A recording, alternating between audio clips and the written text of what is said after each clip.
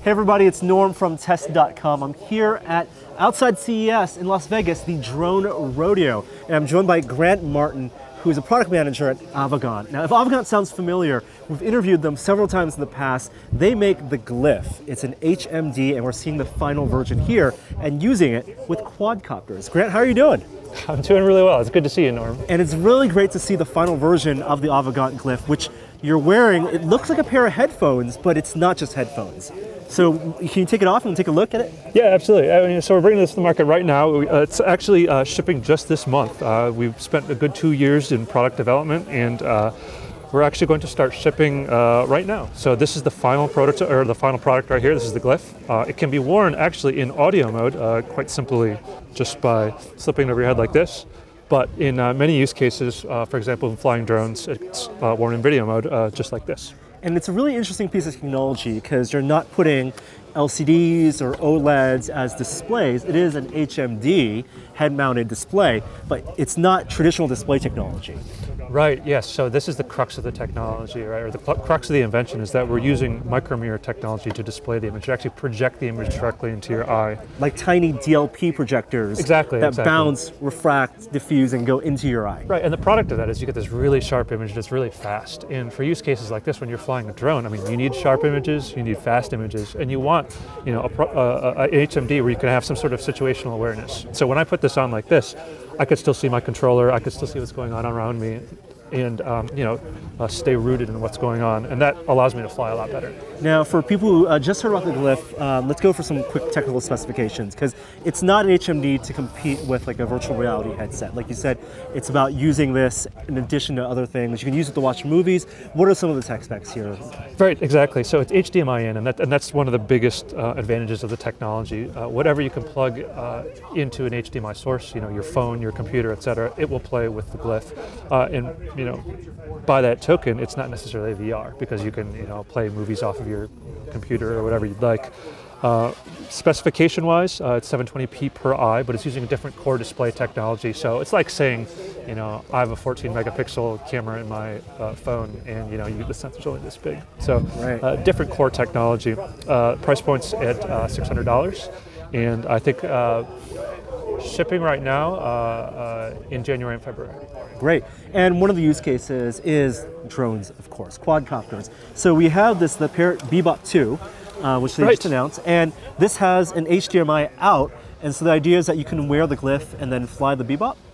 Yeah, actually. Uh, so the great thing about the uh, the Glyph is, you know, since it's uh, HDMI, and a lot of the digital drones coming to market right now work natively with it. Plug and play. Just stick the HDMI cable in the side, and it automatically works. Now, depending on the way that it's connected, whether through it's, uh, whether it's through Wi-Fi or some other uh, connection technology. Um, that can affect how the image comes in, but the glyph itself, super fast, super clear image. With the Bebop 2, which actually is just coming out this year, um, you need the Sky Controller, which is what you're holding right here. And the yep. Sky Controller has HDMI out in the side right here in USB. So all you do is take it from the side of the Glyph, plug it straight into the controller, and you can see what the drone sees pretty quick. Now, is it the exact same UI and HUD that you see when you have it connected to a phone, for example, with the Bebop, or do you get a pure video view, or are there different options? Well, so the neat thing is what, so I think the Controller runs Android, right? And so you can pick whatever output you want. The on-screen display or the OSD is slightly different for the pilot or for the person who's got the eyes on versus what the screen displays. You'll get the HUD, you'll get the horizon and a few other things, but it's really a uh, image that's tuned for someone who's flying as a pilot up in the sky. Now a lot of the quads you mentioned, in addition to the Bebop, also have digital output, video out uh, like DJI's Phantoms and Inspires. Can we check out those as well? Yeah, absolutely. Uh, we've got a couple here. We can walk you over and show you right now. All right, let's go check them out. Cool. All right, Grant, so we have the, the, P3 Professional Phantom 3 from DJI, and this one does have HDMI out. Uh, how's it connected to the Glyph right now? Yeah, right, so this is one of the most popular quadcopters coming to the market right now. And actually, straight out of the box, it doesn't come with HDMI. What you need to do is you need to get this add-on kit at the back right here. It's $99, just screw it into the back, and that'll allow you to natively take HDMI straight out. But it's basically an FPV add-on for your drone, so it's an awesome add-on. Right. Uh, based, so what you have right here is a um, mini HDMI port plug that cable straight into the glyph and then you've got your straight up uh, FPV experience. It's plug and play? Yeah, plug and play. I would love to fly this with the glyph on. Can we do that? Yeah, let's do it. Awesome. Put the quad down right now. So I'm gonna put on the glyph And I'm going to take off my glasses. Uh, and the reason I can do that is because you actually have um, see if it's focal on. adjustments, right? Uh, yes, you can. Uh, is it on right there? It is. So on the glyph here, there's actually a nose bridge, and there's a couple dials. Uh, there's a IPD adjustment, and you actually can rotate the lenses to focus. So that looks amazing. And you should be able to see exactly what's right in front of you pretty quick. The Lightbridge technology is super fast, so you could actually fly FPV without even seeing the drone in front of you. Yeah. I'll hand this to you. Just double check the latency here real quick. So you can see yourself. I can totally see myself. This is great. And I have a on-screen HUD. I can see there's a horizon line. I got battery percentage, um, telemetry info. There it goes. That's the camera. Let's put it down. Let's let's fly. All right. So I'm pretty adept at flying the, the Phantom 3 already. And what I like about the Glyph already is that, like you mentioned earlier, I can actually see the quadcopter. It's still in my field of view. It's not because I can look and I can see the quad right there. Right. No you're problem you're able to maintain line of sight if you need it. Otherwise, you can look straight forward and see what the drone sees. Now, this is a digital technology, and one of the things I wanted to talk to you about is uh, digital versus analog. A lot of people who fly quads, racing quads specifically, they really prefer the analog signals for low latency. Now, DJI's Lightbridge technology and the HDMI and the signals coming from other quadcopters add about you know a couple hundred milliseconds of latency, but is that good enough for, uh, for what you want to do here? Yeah, I mean the thing is, is when you're when you're racing, when you're uh, identifying targets that you're flying past and you're trying to avoid them, you need a really low latency. Uh, but if you're doing aerial cinematography, aerial photography, like you would do in a drone like this, a couple hundred milliseconds isn't going to kill you. Uh, as long as you're not doing any really dynamic maneuvers, a lot of people won't even notice. Uh, now, if you're trying to fly through trees uh, instantaneously, uh, you want a you want a faster solution. And the Lightbridge, while it's great, isn't you know zero milliseconds. But I think that um, a lot of technologies coming to the market this year and next year really going to cut down that latency. And you'll see a lot more drones. I mean, a lot of them are digital now, but even in the racing space, I think you could see them start moving towards digital. And you're relying a lot on the, the signal like from the manufacturer. Here, the signal, the, the electronics are made by DJI. It's their, it's their algorithms, their compression. Um, how much does the Glyph add to any of that? Yeah, well, I mean, one of the great advantages of the technology is that it's super fast. I mean, I think the glyph, you know, from source all the way to your eyeballs is something like 13 to 20 milliseconds. So imperceptible, barely imperceptible, if at all, uh, delay. Uh, the Lightbridge uh, will add a little bit if you're using a Wi-Fi connection, say through a, a, Bebop or maybe a Phantom 2 Vision Plus. Uh, that'll add a little bit of latency too. But again, if you're just poking around your, uh, you know, local park or just taking pictures from the sky, you won't even notice it. I find this actually to be much more enjoyable than looking at like a, a tablet screen connected to the controller. And even though uh, displays here, you see are 720p, the pixel fill is so high that I can't. There's no like uh, screen door effect at all.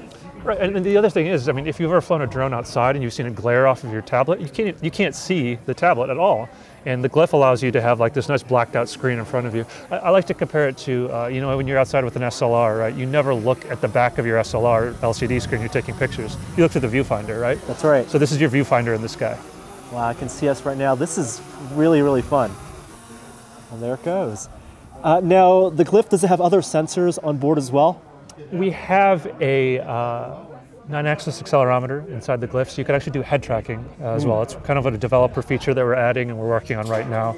Uh, we've been working with a lot of drone manufacturers and third parties actually to enable head tracking and gimbal movement through the Glyph as well. Uh, we've actually got it enabled in the Inspire that we've got right now. We'd be happy to show it to you if you'd like. I'd love to check that out. Let's go check it out. Yeah. All right, so this is pretty great. Uh, I ha- still have the Avegant Glyph on, but now we're flying the DJI Inspire. And uh, with Inspire, you can have a master controller and a slave controller. The slave controller controls the gimbal. And with the software you guys have running on this, it actually is now tethered to the sensors on the Glyph. So there are actually controls on here on the Glyph, right? Top and bottom here, Grant, up and down. And holding this button down, I have activated the gimbal. And as I turn and look, I'm actually controlling almost one-to-one movement on the gimbal and all the way 360. I can actually see my own feet right now. Look at my shoes. That's so cool. Let's take off.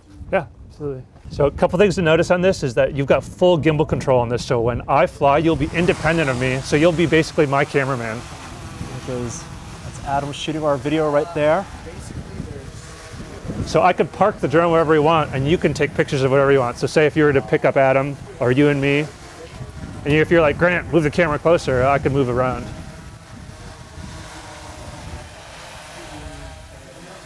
And you can see the bottom of the quadcopter itself. This is so much more intuitive than using the sticks to be the cinematographer. Um, and I love this. I love that if we wanted to, for example, let's try just flying high up in the air. Sure. Ready to go? Yeah. And I can track where we are and do a slow pan, for example, around the horizon by just turning my head or my body. Wow. That's really neat. Yeah, so one thing I like to do is like if I'm going out and I'm filming like a soccer game or something or a frisbee game, I'll park the drone up in the sky and then I'll put the glyph on and I'll just film from the top as if I have like a tripod in the sky. And at this point, any bit of latency actually doesn't matter that much uh, because you're, you're acting as a cinematographer. Right, a exactly. Now, another neat thing you can do is you can lock it into FPV mode right now, and you can actually fly from the perspective of the drone. But right now, since I've got it in free mode, you can just look around. Now, is this still just a developer prototype, or is this something that when people get the glyph and if they have it inspired, they can implement? Yeah, they should be able to implement it. We're working on the uh, firmware to get it integrated right now, but every shipped unit will have uh, head tracking uh, installed on it. And, and, as we get new and better firmware and software, we'll, we'll distribute that to the community. You want to do, uh, you want to do a flyover? Yeah, let's do a flyover. Let me know if the, uh, I'm going to twist the glyph around. I'm going to reset your point of view too, so you're facing us. Okay. There we go. Perfect. And we'll do